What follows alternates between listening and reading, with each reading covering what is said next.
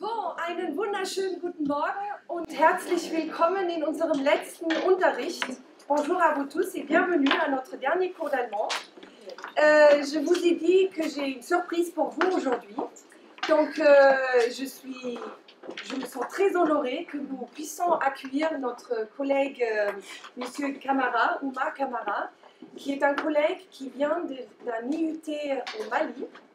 Et euh, c'est le directeur de l'IUT sur place. Et les étudiants en info, ils ont fait une étude de cas l'année dernière pour le Mali. Vous vous rappelez de ça?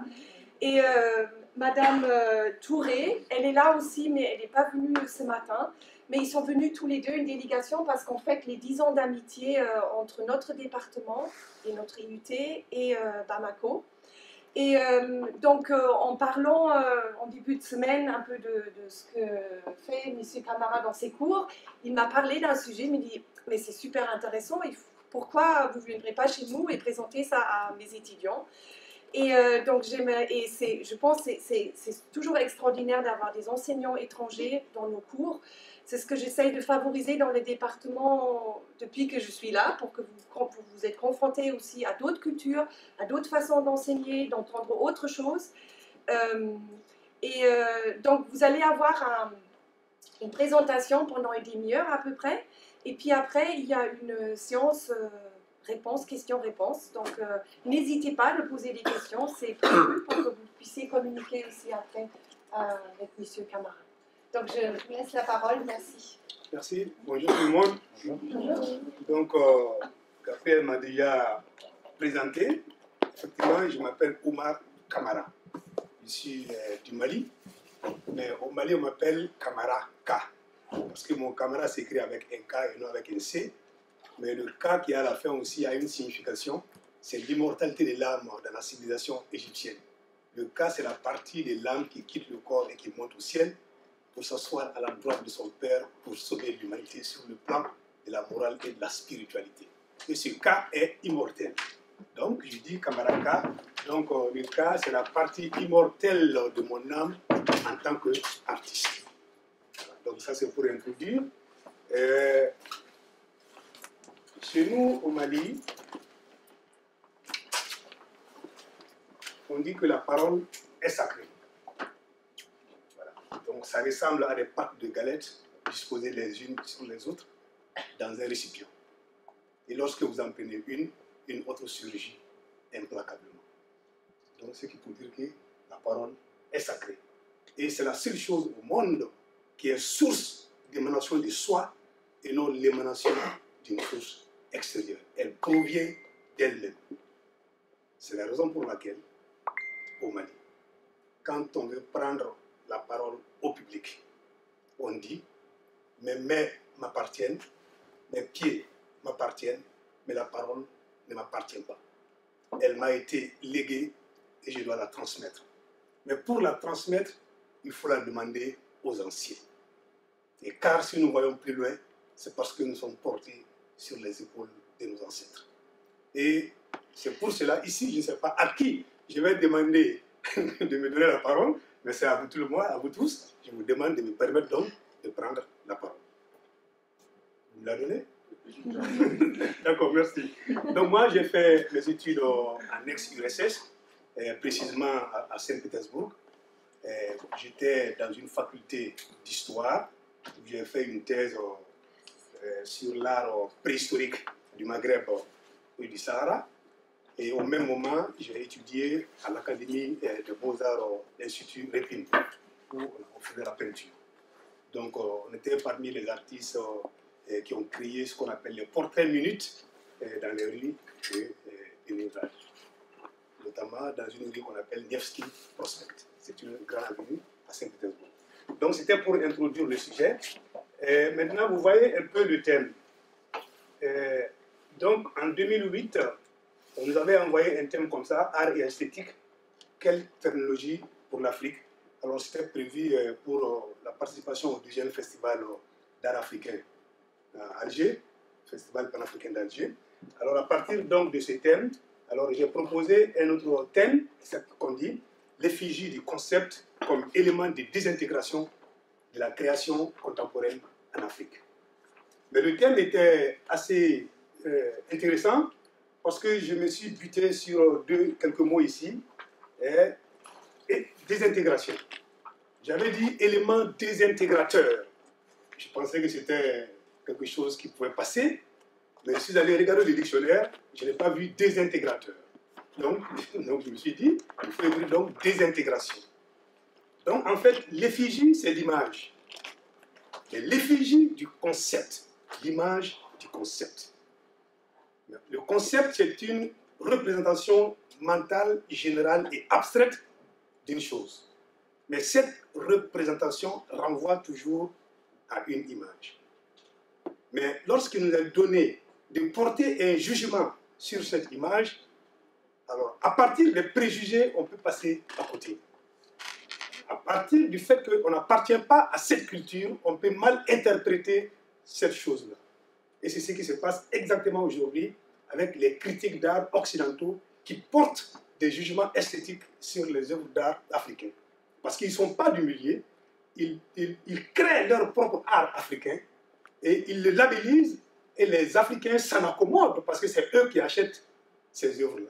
Donc du coup, le, génie de l'artiste africain va dépendre plutôt du génie des critiques d'art occidental. Parce que c'est lui qui impose son point de vue en parlant d'un concept, en parlant d'un élément, en parlant d'une image qui n'est pas de son milieu. Puisque nous disons que l'être social détermine la conscience sociale, nous sommes le produit de notre société et effectivement, ce que nous créons reflète notre culture. Et mais quelqu'un de l'extérieur porte un jugement sur, cet objet, il peut pédaler à côté du vélo, comme on a l'habitude de dire. Pédaler à côté du vélo, là on va pas loin. Donc, j'ai rassemblé quelques images par rapport effectivement à ce concept-là. Vous voyez, ça, euh, c'est un. Oh là, c'est pas visible. Un moyen de transport en commun, c'est un minibus. Je ne sais pas, je ne sais pas. Est-ce que vous voyez ici, par exemple? C'est un minibus.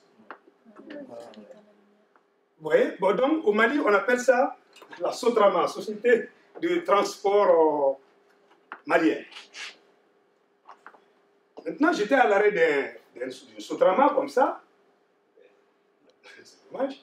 Alors, j'étais avec une demoiselle, et lorsque euh, la voiture est arrivée, le camion, elle dit qu'elle ne peut pas emprunter parce qu'elle elle est civilisée.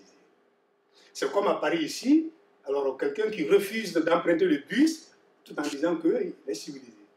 Il est cultivé, il est, il, est, il est plus grand que ça. Quoi. Il a une culture qui fait qu'il ne peut pas accepter d'emprunter alors le moyen de transfert en commun qui est unique. Et c'est ce que nous avons à Bamako et tout le monde l'emprunte. Mais elle, du milieu, dit non, je suis civilisé, je ne peux pas emprunter la Sotrama. Et puis, civilisation par rapport à quoi? Vous voyez quelle notion C'est bizarre. Qu'est-ce qu'elle entend alors par civilisation? Oui Excusez-moi, une question. Cette dame était malienne ou c'était une dame étrangère? Une malienne. Une malienne. Donc voilà, c'est pourquoi que c'est intéressant. Hmm. Si elle, elle, venait de France, elle va dire que non, je ne peux pas, parce que là, ce n'est pas commode. Mais elle est du Mali, elle est née au Mali, elle a grandi au Mali, elle dit non, je ne peux pas l'emprunter. C'est bizarre. Voilà, ça c'est une sculpture traditionnelle africaine. Aujourd'hui, lorsque vous présentez ça à un Africain, est-ce que vous savez ce que c'est? Il peut dire oui, je sais, c'est une sculpture, mais depuis que nous sommes civilisés, nous n'en faisons plus. Le fait d'être civilisé, donc on a abandonné nos propres cultures pour se rendre vers d'autres cultures qui ne sont pas les nôtres. Vous voyez, abandonner sa propre culture veut dire qu'on est civilisé. Civilisé, alors par rapport à quoi? Alors on le faisait dans la tradition et maintenant on est civilisé, on n'en fait plus. C'est vraiment dommage. Et il y a un auteur africain, Senghor, qui dit qu'il faut s'enraciner au plus profond de l'africanité, mais il faut rester ouvert aux quatre vents du monde. C'est-à-dire, c'est vrai, n'oublions pas nos cultures, nos traditions, mais restons ouverts aussi. Mais eux, ils abandonnent carrément, ils disent que non, nous n'en faisons plus parce que déjà nous sommes civilisés. Parce qu'effectivement, l'Europe avait une mission civilisatrice en Afrique aussi. Voilà, c'est par rapport à cela. Nous sommes civilisés. Vous voyez, aujourd'hui, moi, je parle le français.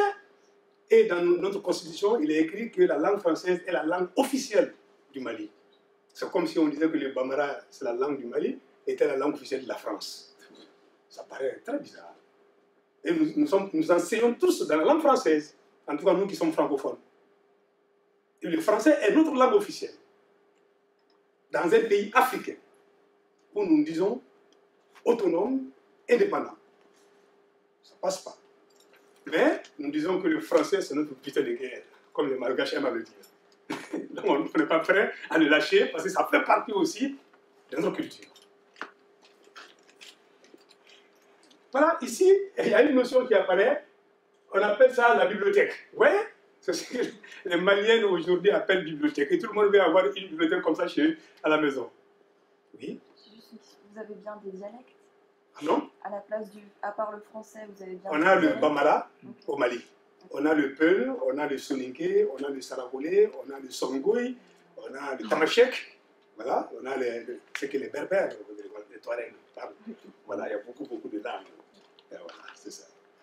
Intéressante question. Donc, ici, c'est une bibliothèque. Les Maliens appellent ça bibliothèque. Cette bibliothèque, c'est fait juste, si vous lisez un peu, vous allez comprendre, c'est pour mettre juste les ustensiles dedans. Ils appellent ça juste bibliothèque.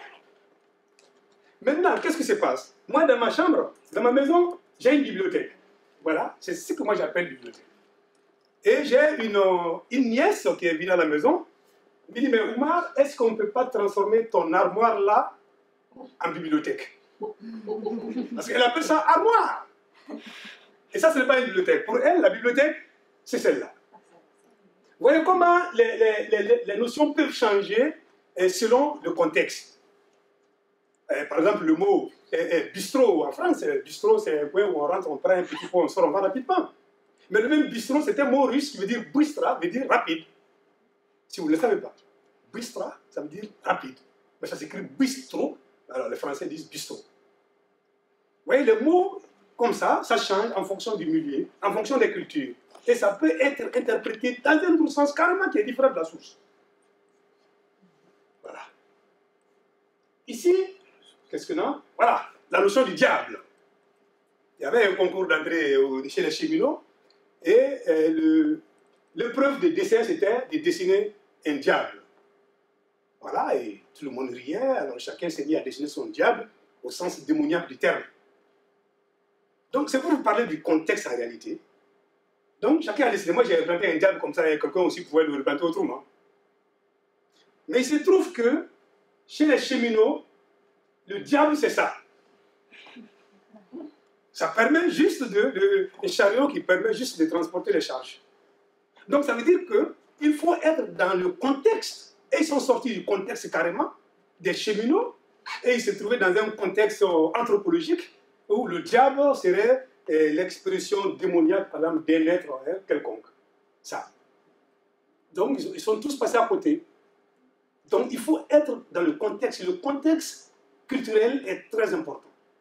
C'est très, très important dans les jugements d'appréciation, dans les jugements esthétiques.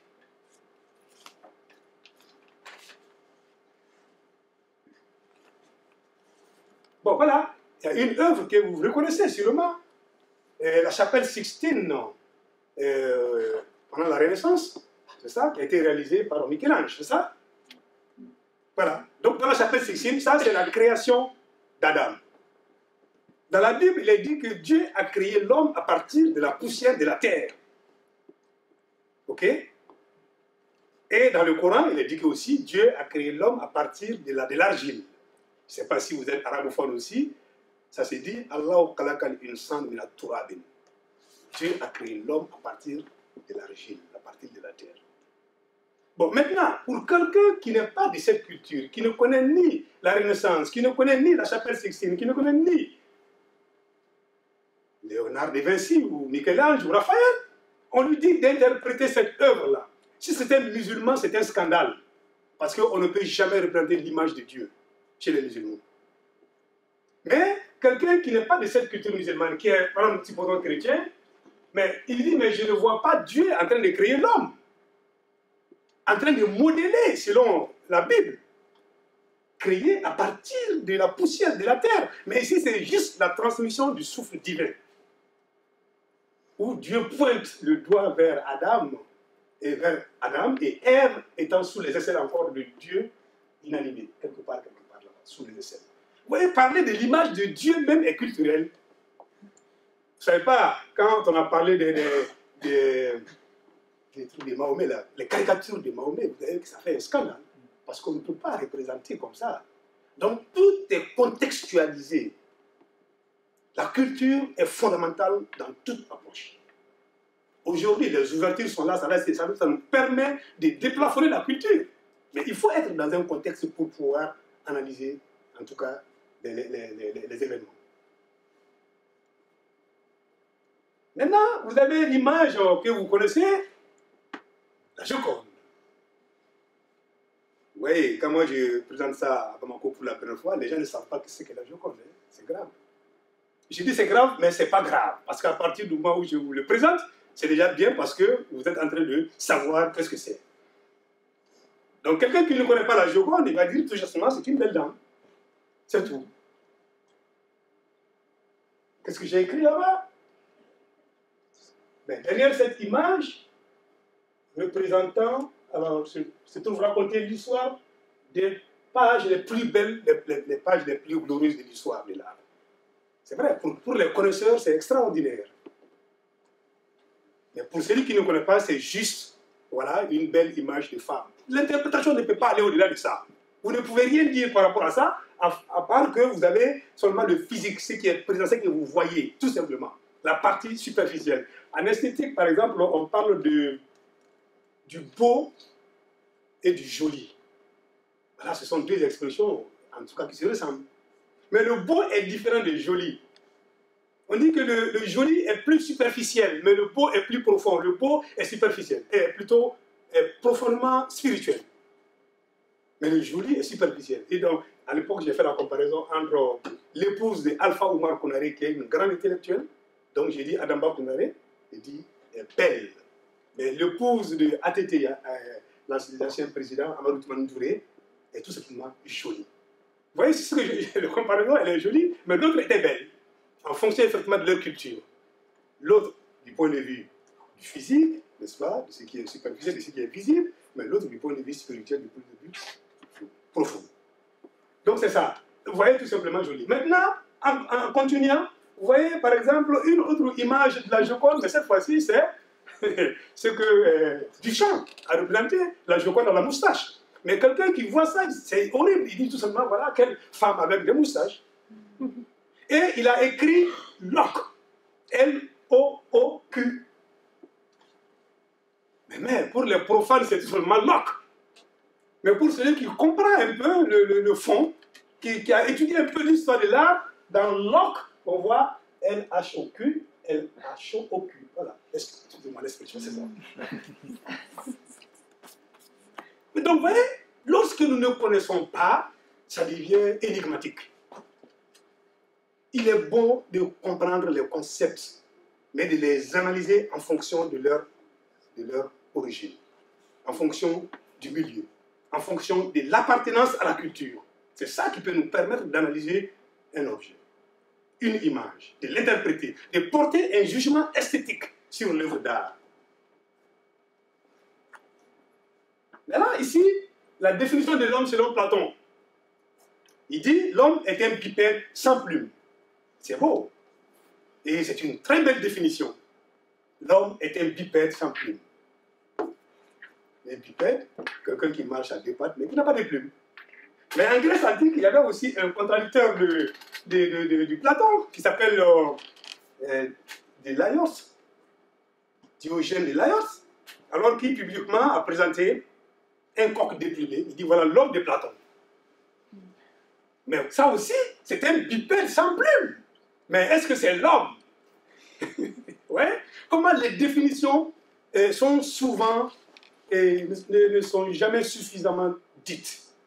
Vous pouvez penser que c'est bien défini, mais il y a toujours des possibilités d'extension ou de lecture en- entre les lignes. Pour Platon, l'homme est un bipède sans plume, c'est vrai, c'est très c'est juste, bien sûr, mais quand on présente aussi un coq déplumé, il ressemble aussi à un bipède sans plume. Mais ce n'est pas l'homme. Donc la définition de l'homme peut aller plus loin. Il faut autre chose, il faut d'autres contextes. Voilà. Ici, voilà, c'est une sculpture d'une culture de chez nous qu'on appelle les Sénoufos. Vous avez entendu parler des Sénoufos, c'est une ethnie du Mali. Et sur la sculpture, il y avait des scarifications comme ça, euh, de, de part et d'autre de l'o- de l'ombilic, de nombril. Quelqu'un me l'a amené pour me dire de, l'interpréter. comment l'interpréter, il faut partir à partir, il faut, il faut aller à partir des cultures, de la source. Mais j'ai essayé de compter juste hein, les, les, les, signes qui sont là-dessus. Il y avait 8 en haut et 8 en bas. C'est les notions de concept hein, qui, qui entrent en ligne de compte. La notion liée à la conscience elle-même, l'interprétation des qualifications en fonction de leur nombre et en fonction du concept lié à ce nombre dans la société rationnelle Bamana, où c'est nous faut. Faire allusion à la notion du chiffre et de la complétude sexuelle unissant en son sein le symbole mâle et le symbole femelle, selon Amadou Donc, quand on prend les chiffres 8 en haut et 8 en bas, 8 plus 8 égale 16, tout simplement. Ça, c'est un concept qui est clair dans le monde entier. Mais ce 16-là, si nous le prenons sur ce plan, le 16, est-ce qu'il y a la craie Voilà. Donc, vous voyez, il y a 8, hein 8 plus 8, qui nous donne 16. Ça, dans le monde entier, tout le monde sait que c'est ça, c'est un concept qui est clair. Mais dans ce cas précis, quand vous prenez le 16, alors qui, qui se décline en 1 plus 6, qui nous donne 7. Dans la culture Bamana, dans la culture nouveau, le 7 a une signification profonde parce que le 7, c'est le 3 d'abord qui appartient, à, qui, qui, qui est l'image de l'homme, et le 4, n'est-ce pas, qui, représente la femme dans la civilisation africaine. On ne va pas rentrer dans les détails, mais on pense que le chiffre qui, est, qui appartient à la femme, c'est le chiffre 4, et le chiffre qui représente l'homme, c'est le chiffre 3. Il y a des explications, mais on n'a pas le temps aujourd'hui de rentrer dans ces détails. C'est profondément anthropologique, c'est profondément culturel. Donc, ce qui veut dire que la femme devient l'expression la plus achevée de la création au sens divin du terme, en unissant en elle le symbole mâle et le symbole féminin. Et ça, c'est extraordinaire. Et ça se retrouve dans toutes nos cultures. Quand vous allez chez les Dogons et vers Bandiagara, il y a un hangar qu'on appelle le Toguna. Et cet hangar, il, il, est, il, est, il est comme ça. Vous voyez les, les tuiles comme ça. Et voilà, cet hangar est soutenu par des sculptures féminines.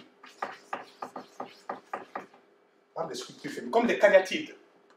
Voyez Mais il est interdit aux femmes de rentrer dans, dans le Togo. Et pourtant, c'est l'image de la femme qui soutient le Togo. Ça veut dire que la femme en Afrique, quand elle est physiquement présente, elle est relevée au second plan. Mais profondément, elle est en nous, elle est spirituelle, elle est primordiale, elle est tout, elle est maternelle. C'est l'expression, comme je le dis, la plus achevée de la création au sens divin du terme. Donc, dans la femme, c'est la complétude sexuelle. C'est le mot que j'utilise.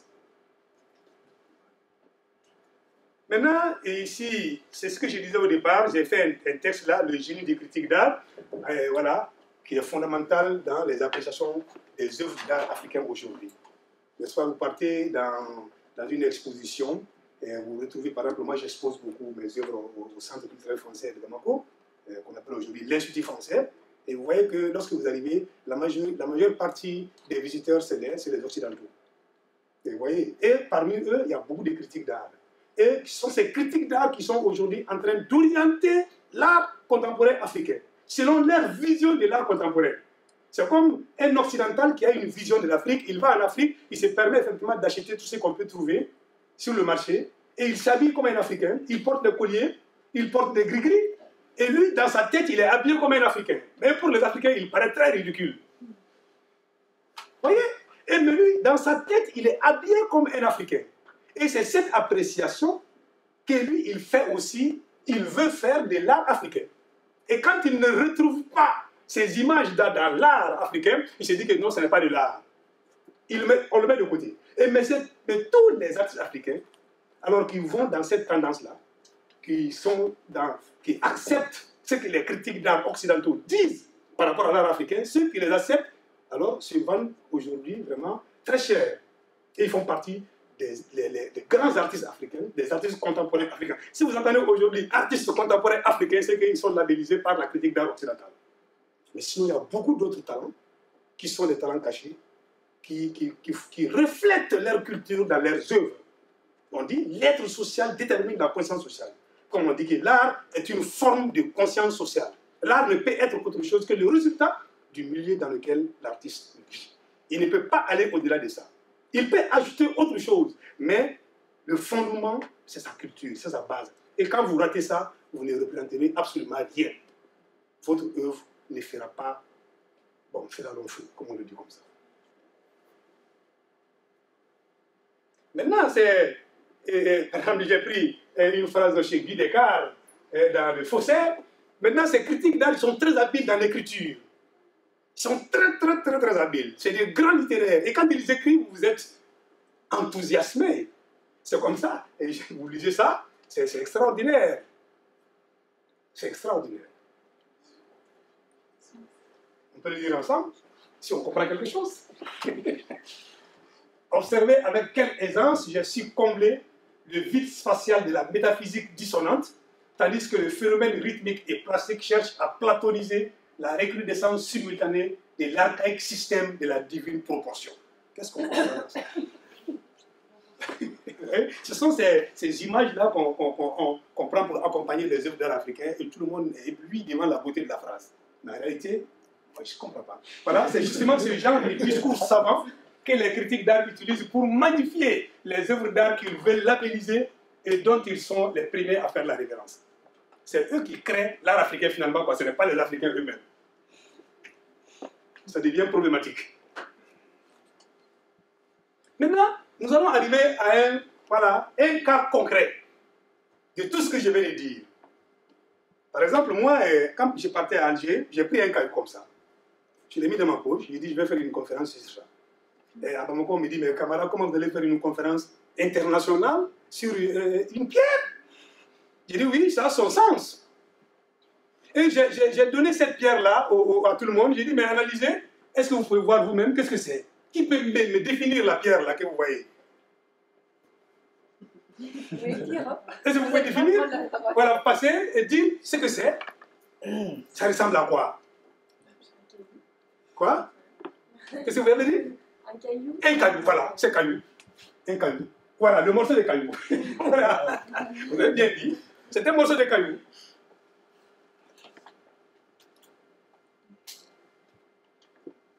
Voilà.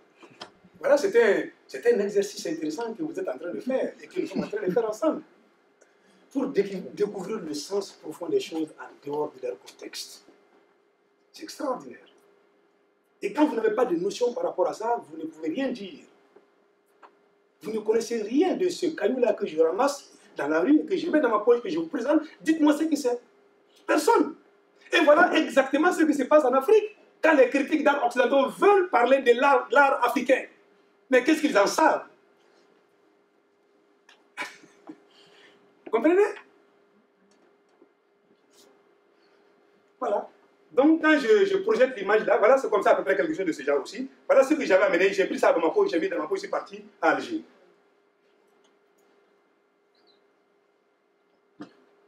Ça va? Vous pouvez me retourner mon caillou là? Donc, vous lisez à côté, qu'est-ce qui s'est passé? Donc, ça veut dire que si l'artiste africain lui-même ne donne pas des, choses, des, sens, un sens à son art, il est très difficile pour l'autre de le découvrir. Mais il peut juste apprécier la beauté de la chose. C'est la même chose qu'ici. Oui? On peut poser des questions maintenant ou ce sera après parce que si on Oui, d'accord. Maintenant, si moi je vous dis que c'est un morceau d'un mur, ah oui, ah oui, d'accord, ça peut être une clôture. Je ne sais pas si c'est écrit ici. Voilà, c'est juste un morceau ici. Maintenant, quand on ajoute, moi j'ajoute un, un- un petit élément, voilà, c'est juste, quand vous lisez, ça devient juste une clôture. Dans un deuxième temps, nous apportons à notre modèle, autrefois simple objet, puis ouvrage de maçonnerie, une information complémentaire, c'est un morceau de mur.